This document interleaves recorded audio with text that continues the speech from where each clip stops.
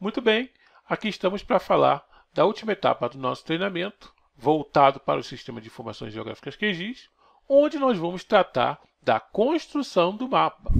Aqui no meu projeto do QGIS eu tenho o mapa do estado do Amazonas com os focos de incêndio para a leitura de 2020 e 2021. Muito bem, vamos à construção do mapa.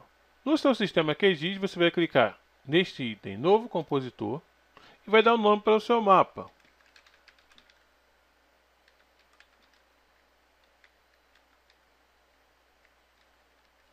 Clique OK. E aqui vamos começar a desenhar o layout. Clique neste ícone Adicionar novo mapa e desenhe enquadramento mais ou menos até aqui. Para deixar um espacinho para as informações ali, né? Depois, você vai desenhar alguns retângulos auxiliares. Clicando aqui, adicionar formato, adicionar retângulo. Você vai desenhar um retângulo maior que esse, pegando toda a folha. E um segundo retângulo que você vai desenhar. Você pode, inclusive, editar, copiar, editar, colar no local. Mesmo retângulo você vai desenhar mais ou menos para ficar aqui assim. Então, hora de enviar os objetos para trás. Clica no maior, clica neste ícone aqui, enviar para trás. Bom, o retângulo foi enviado para trás, como você pode ver, só realizar os ajustes. Muito bem, esse objeto aqui precisa de uma moldura. Então você clica nesse objeto com esta ferramenta aqui, selecionar mover item, desliza até o final e seleciona o item aqui moldura. Agora você vai ver o enquadramento daquele bloco. Esse é o bloco do mapa, esse é o bloco de design no fundo e esse é o bloco de design na lateral. Você consegue clicar nos três, como eu faço aqui. Agora você vai ajustar este bloco de acordo aqui com o layout da folha. Vai mais ou menos aqui, deixando assim um pouco afastado. E aqui também, você vai desenhando o objeto para ficar um pouco afastado. De modo que fique mais ou menos assim. Um enquadramento da informação e um enquadramento para informações adicionais que você vai colocar no mapa. Primeiro aspecto mais importante, a escala. O que, que é a escala? Escala é o, na produção de mapas, escala é o dimensionamento dos elementos no papel. Então, qual o tamanho do papel que eu estou utilizando? Clique com o botão direito, propriedades da página, você vai ver que você está utilizando um A4 paisagem. Beleza, posso clicar fora, clicar de novo no objeto. E essa é a escala que ele mostra para mim. Então, eu posso ir ajustando a escala de acordo com a visualização do objeto aqui. Então, qual seria uma escala adequada? Eu tô, ele está mostrando aqui 10 milhões 867 mil. Então, vamos colocar 10 milhões. 10, 000, 000. Quando eu coloco 10 milhões, ele aproxima mais. Logo, se eu colocar 9 milhões, ele será aproximado. Consegue ver? Assim, como, assim também posso colocar 8 milhões e 500. Então, posso colocar aqui 8 milhões e 500 mil. Então, tem esse dimensionamento a escala do meu mapa. Você deve selecionar a escala, copiar, clicar neste item aqui, do lado da escala, em editar, e aqui você deve colar para que a escala não fique é, editável, não fique aleatória, tem que ser uma escala fixa. Então, 8 milhões e 500 mil, gostei dessa escala, posso mover os objetos que eles não se perdem. Então, tem este item aqui, mover item do conteúdo, que você pode mover o desenho. Ó. Posso mover o desenho para cá, então, selecionar e mover item, seleciona os blocos. Mover item do conteúdo, ou mover o conteúdo do item, ele vai mover só o desenho. Então, posso enquadrar de forma que o desenho não seja cortado na escala que eu determinei. Coloco o desenho aqui assim mais ou menos, para não pegar na borda ali. E aqui eu preciso dar um espaçamento maior para cá. Clico na ferramenta de seleção e movo mais o objeto para cá. Como você pode observar, ele não sai da escala que eu determinei. Só usar o mover item do conteúdo para fazer o enquadramento. Então tem aqui. Esses outros blocos eu posso dimensionar conforme a necessidade. E a gente vai dimensionar depois. Aqui, por exemplo, um pouco mais para cá. Podemos assim ter o nosso layout pronto. Agora é hora de acrescentar os objetos. Como eu fixei a escala, eu tenho que estudar a escala. Então, esse aqui é o Excel com a sua conhecida barra de unidades que você aprendeu no, no ensino fundamental. O metro é a unidade básica de medidas, depois você tem decímetros, centímetros e milímetros. E para cá você tem decâmetros, hectômetros e quilômetros. Não é verdade? O que é escala? Como eu falei, escala é o dimensionamento do objeto na folha, quando a gente está fazendo o mapa. Mas a escala em si é um conceito. Então o conceito da escala é justamente esse aqui. Uma unidade no mapa equivale a n unidades no terreno. Qual é, qual é a unidade no mapa? É o centímetro. Então, eu posso aplicar esse conceito em cima do conceito da escala. 1 centímetro no mapa equivale a 8 milhões e 500 mil centímetros no terreno. Então, esteticamente fica feio representar isso na escala. Então, eu uso a barra de unidades e começo a alocar esse 8 milhões e 500 mil a partir da casa dos centímetros. Então, 0, 0, 0, 0. 8 milhões e 500 mil mais um zero. Aqui eu tenho o 5 e aqui eu tenho 8. 500 mil, tá vendo? 500 mil, 8 milhões. Bom, 500 mil, 8 milhões. Então, dentro do conceito da escala, 1 centímetro no mapa equivale a 8 milhões e 500 mil centímetros no terreno. Então, eu vou considerar essa posição aqui da barra de unidades, a barra que você aprendeu no ensino médio. 85 quilômetros, está vendo aqui? 85 quilômetros. Então, é certo dizer que para a escala que eu estou trabalhando neste momento, 1 centímetro no mapa equivale a 85 quilômetros no terreno. Esse é o conceito que você deve aplicar para escrever a escala em quilômetros. Então, no QGIS, vamos construir a escala desse mapa. Você clica no item adicionar escala, desenha aqui, clique em OK, daí você pode começar a configurar. Você vai configurar considerando quem? Considerando a unidade em quilômetros, está vendo? 1 quilômetro, dividido pelo número de segmentos. Então você vai dividir 85 por 1, que vai dar 85. Então deixa eu aproximar aqui com essa ferramenta. Então, 85 é, segmentos dividido por 1, que é a unidade de quilômetro, dá 85. Então ele vai dar ali as subdivisões. Você acrescenta 1 na esquerda e 2 e 3 na direita. Fica assim. Essa é a escala gráfica. A gente chama de escala gráfica. Então, o mapa é dimensionado, ou melhor, a escala é dada de acordo com a dimensão que você fez no A4. No A3 é um tamanho, no A2 é outro tamanho, e a escala vai ser diferente. Então, escala nesse conceito aqui é dimensionamento do objeto no papel.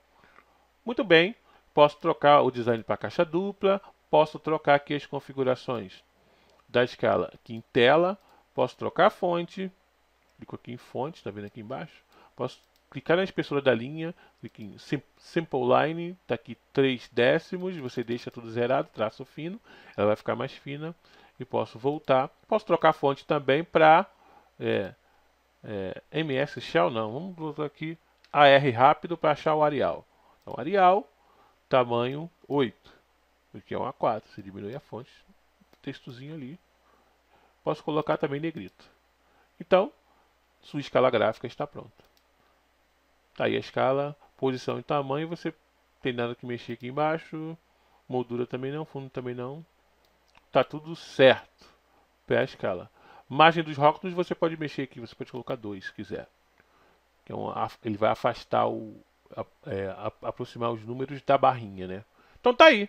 Sua escala foi configurada, é uma convenção colocar uma unidade antes do zero, você pode não colocar se não quiser é uma convenção. Então, é, é fica a cargo de cada um. Né? Você pode reduzir essa caixa. E agora posso partir para configurar outros elementos. Por exemplo, a grade de coordenadas. Vamos lá colocar a grade de coordenadas agora? Eu clico com a ferramenta de seleção na grade, que é o objeto interno, e posso começar a configurar a grade. Então tem aqui as especificações da grade. Posso criar uma nova grade, clico nela e clico em modificar a grade. Depois, como eu estou em graus, o mapa é do sistema geográfico, todos os dados são do sistema geográfico, estou trabalhando com graus, eu vou começar com um grau em X de intervalo e um grau em Y. Então você olha para o mapa, vê se ele poluiu. Comecei com um grau, ficou poluído, então eu posso usar meio grau, posso usar um décimo de grau se eu quiser poluir mais, por, exemplo. Se eu colocar aqui meio grau, 0,5 de grau, vai colocar mais linhas, tá vendo? Vai ficar mais poluído ainda. Em alguns casos você vai fazer isso. Um décimo de grau, meio décimo de grau. Tá aí, ó. Mais poluído ainda. Então se você tem que aumentar o valor em grau. Então, um grau, vou colocar 3 graus aqui. 3. E aqui também. 3.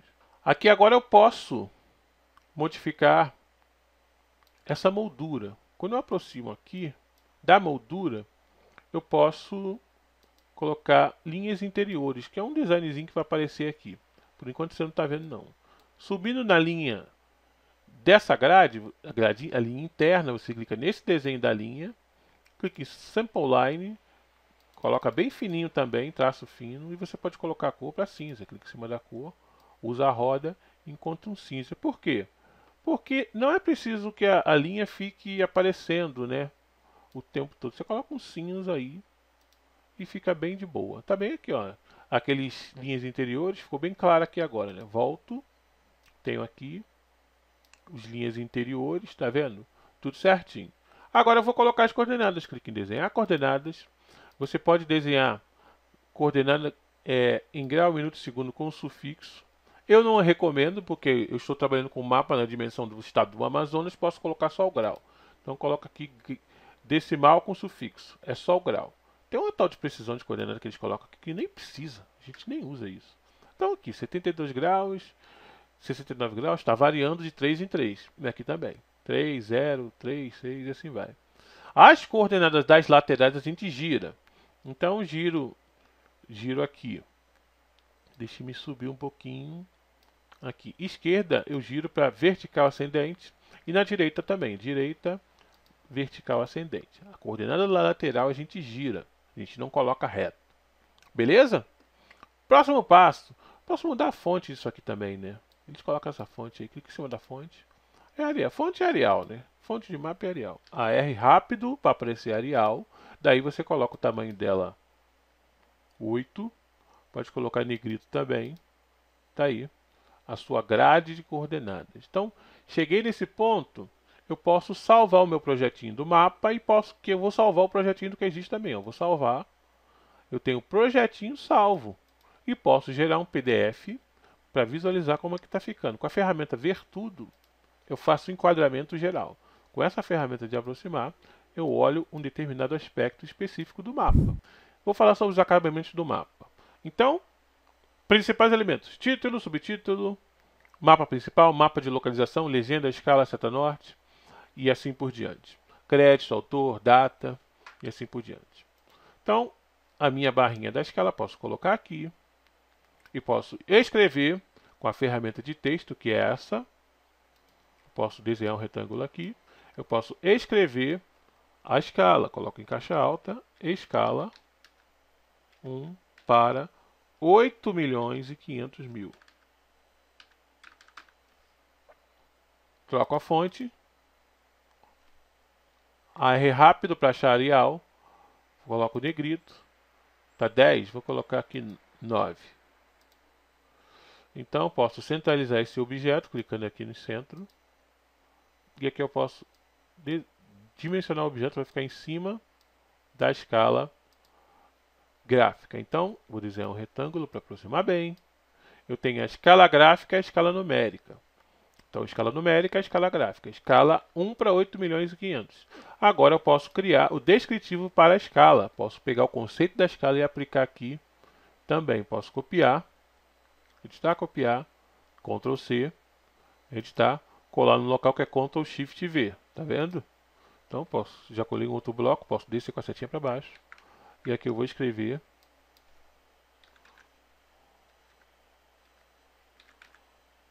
um centímetro no mapa equivale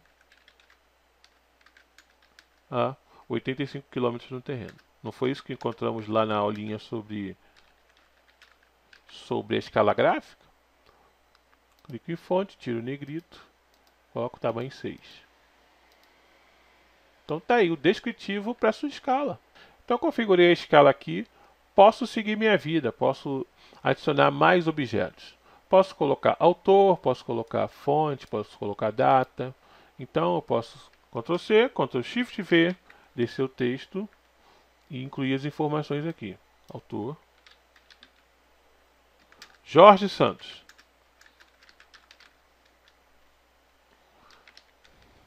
Fontes.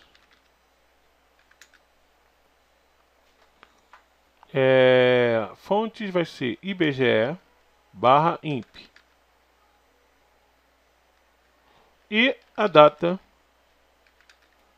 30 do 3 de 2021. Então, posso clicar na ferramenta Ver Tudo e posso continuar configurando meu mapa. Vou aproveitar esse mesmo texto aqui, Ctrl C, Ctrl V, movo ele para cá. Então, começo a, a, a, a escrever o título do mapa, né? Focos de incêndio no estado do Amazonas. Tá aí, focos de incêndio no estado do Amazonas. Você vai ampliar o bloco, pode alinhar à esquerda e pode também é, aumentar a fonte dele. Que fonte? Vou aumentar a fonte aqui para 14. Vou ver como fica com 14. Então, focos de incêndio no estado do Amazonas. AM. Esse é o título do mapa. E o subtítulo, você pode escrever aqui dentro, ou pode... Vou criar outro bloco, né? Deixa esse bloco quieto aí. Ctrl C, Ctrl Shift V, para colar no mesmo local. Desce. Daí você pode colocar monitoramento. Vou colocar... Se eu coloco caixa baixa ou caixa alta. Vou colocar caixa alta. 2020, 2021. Então eu posso diminuir a fonte dele. Se esse aqui está 14, eu vou colocar 12 para esse. E aí fica bem claro. Posso colocar até menos também a fonte. Posso colocar 10. Então ficou claro aqui que esse é o título do mapa e esse é o subtítulo. Então, título e subtítulo. Eles podem contar aqui no mapa, como podem contar aqui embaixo também. Você pode escrever eles aqui, não tem problema, é sua escolha. Eu não gosto com, com fundo, então vou lá, vou tirar o fundo. Deixa as linhas aparecendo.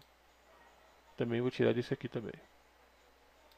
Muito bem, o título e o subtítulo do mapa estão prontos. Posso prosseguir para a finalização completa.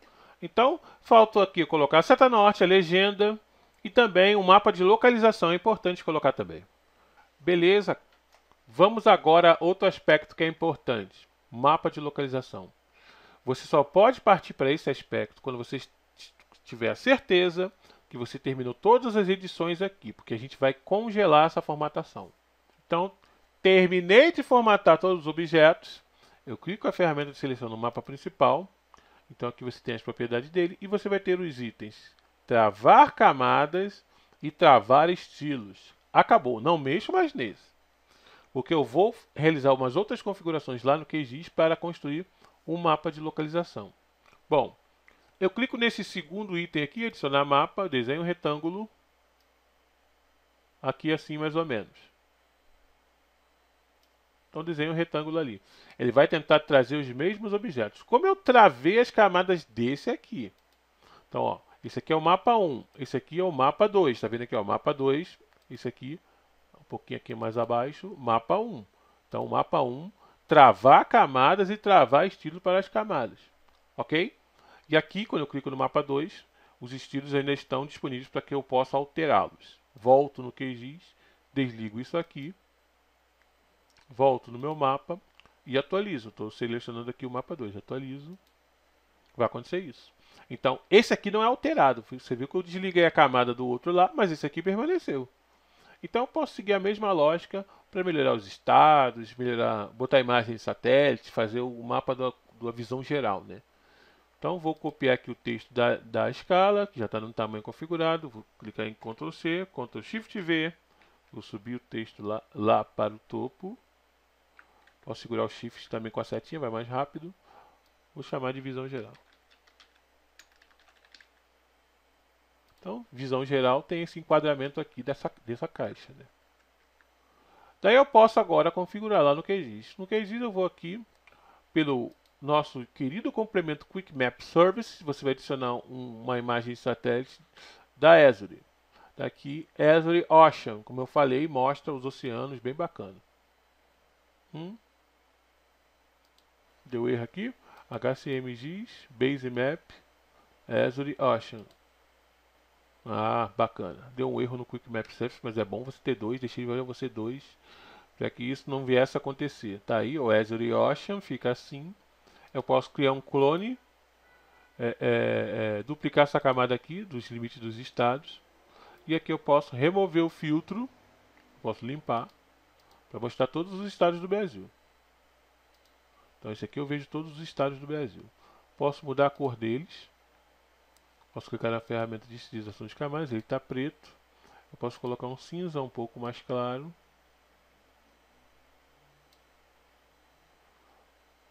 Beleza? Então tem os outros estados. Quando eu volto lá no, QGIS e mando atualizar, acontece isso. Então eu posso também mexer em questões de escala. Ó, 50, 50 milhões, 830 mil.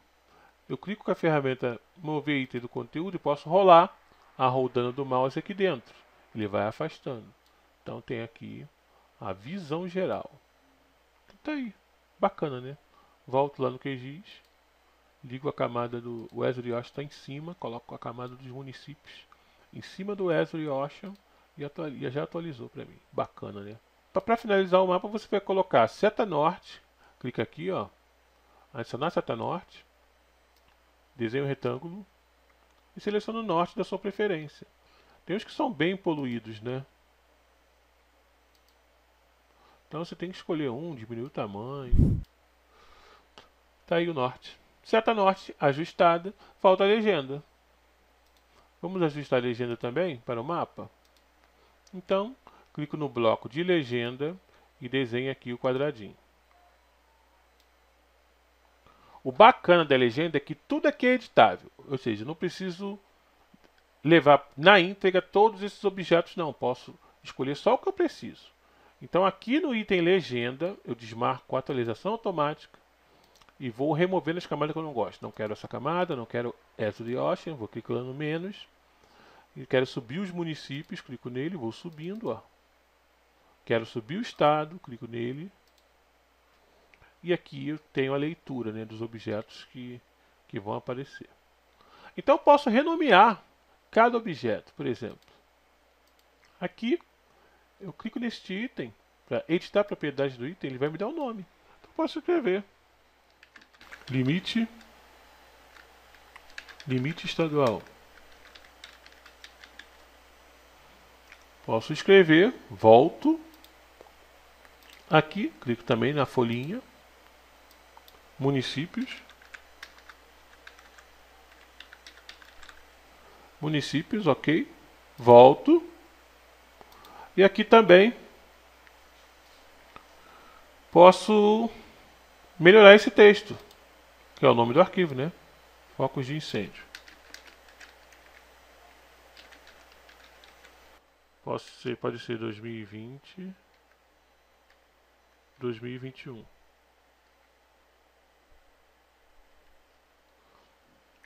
Ok? Então tá aqui. Tem também os itens da legenda que eu posso editar cada um deles. Posso colocar aqui risco baixo.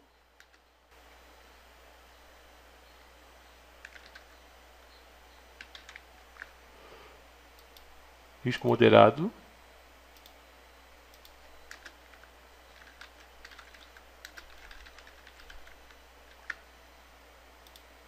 E aqui, por último, risco alto.